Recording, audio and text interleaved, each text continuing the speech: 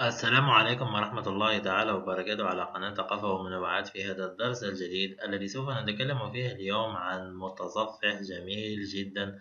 أطلقته شركة أوبرا وهو عبارة عن متصفح عفوا جديد. فإذا كنت مهتم بالتفاصيل وميزات هذا المتصفح فابقى معي.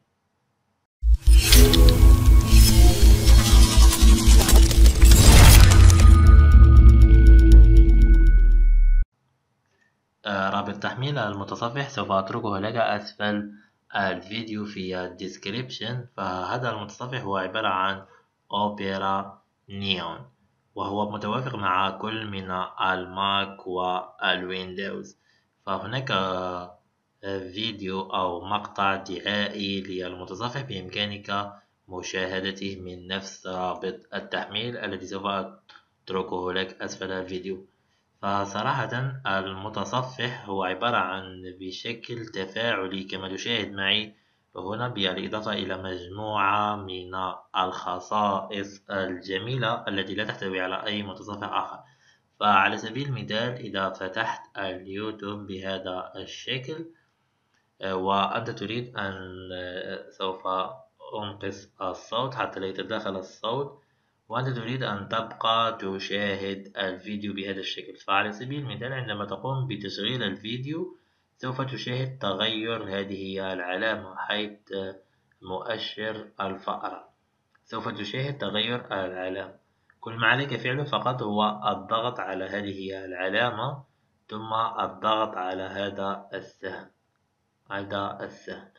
بعد أن تضغط على هذا السهم الجميل في الأمر أنك تستطيع أن تبقي هذه النافذة بهذا الشكل وتستطيع أن تبقى تشاهد صوت وصورة وتذهب تتصفح الفيسبوك على سبيل المثال بشكل عادي جدا وأنت تشاهد وتدردش مع الأصدقاء وكل شيء. والأمر جيد وجميل جدا.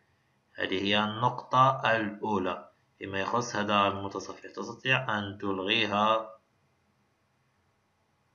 وكما تريد.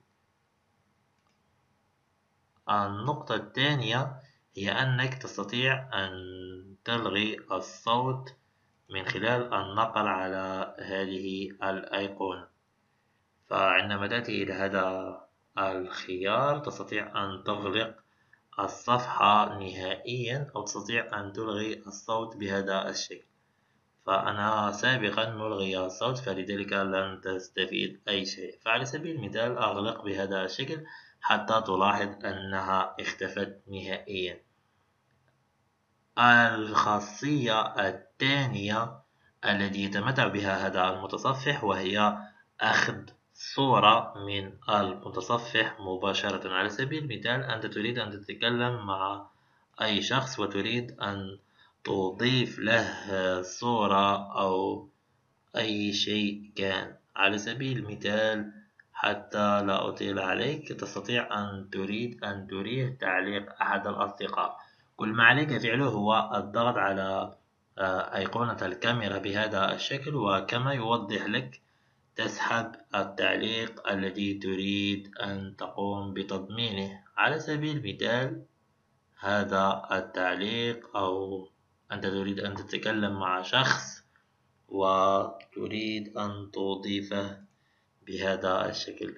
بعد أن تقوم بأخذ اللقطة تستطيع أن تجدها هنا وتضيفها بهذا الشكل لأكثر من صديق. وترسلها بهذا الشكل لتصل في غضون ثواني تستطيع أن تقوم بتضمين أكثر من لقطة بهذا الشكل. تجدها كلها هنا. تستطيع أيضا أن تقوم بإرسالها بهذا الشكل والأمر بسيط جدا. تستطيع أن تحذف أي صورة من خلال الضغط على الزر الإكس هنا. وتنتهي من الأمر. كذلك تستطيع أن تضيف أي موقع تريده اللغة العربية على سبيل المثال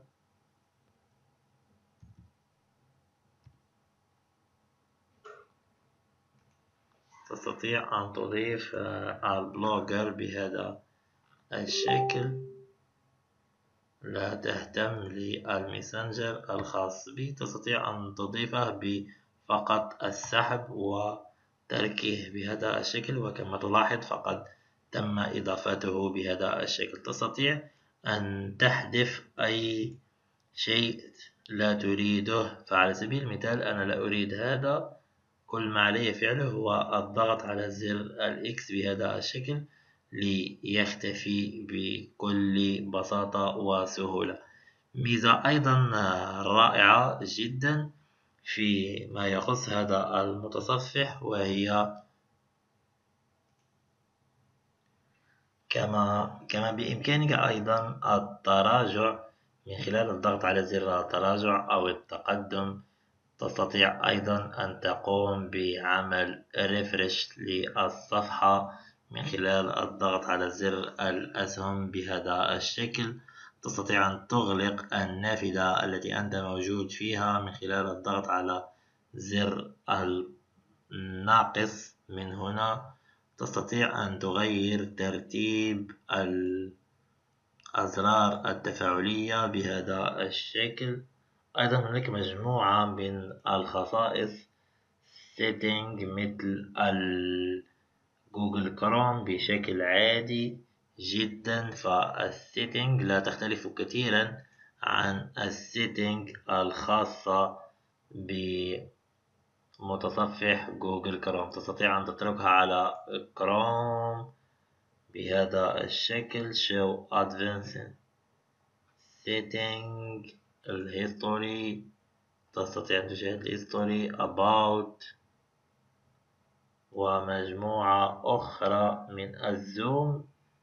أستطيع أن أقول لك أن control زائد تفعل ال zoom control ناقص control صفر نفس الخصائص المتعلقة والاختصارات المتعلقة بجوجل كروم. إلى هنا يكون درس وموضوع اليوم قد انتهت. أتمنى أن لا تبخل علينا بالضغط على زر like إذا أعجبك الموضوع subscribe على القناة لتشاهد كل جديد. إلى اللقاء.